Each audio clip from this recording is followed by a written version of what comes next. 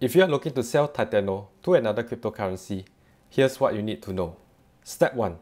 Import Titano on PancakeSwap. Titano is not one of the default tokens on PancakeSwap. You will need to search for Titano and import it via CoinGecko. After confirming this import, you will now have Titano on PancakeSwap. Step 2. Increase your slippage tolerance on PancakeSwap. Under the documentation by Titano, you are required to set the slippage to at least 18%. I will leave a link to this documentation in the description below. On PancakeSwap, you can click on the gear icon and adjust your slippage tolerance. Step 3. Enter the amount of Titano to sell. To sell Titano, you will need to make sure it is on the higher field. You are able to select the cryptocurrency that you want to sell Titano to. Some examples include BUSD, Bitcoin, and even USDT. In this case, I'll be selling my Titano tokens to USDT.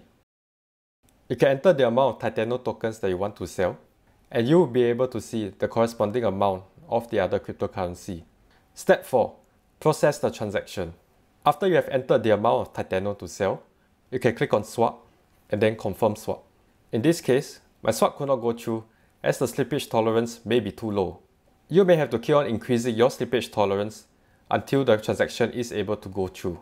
After trying for a few times, your transaction may finally go through there will be a pop-up for MetaMask where you can view the gas fee that you need to pay for this transaction, as well as the total amount.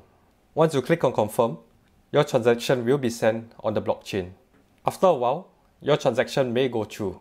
For this transaction, I needed a slippage tolerance of 22%.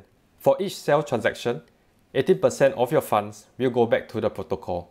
Because of this, I only received 290 USDT when I sold 350 USDT worth of Titano tokens.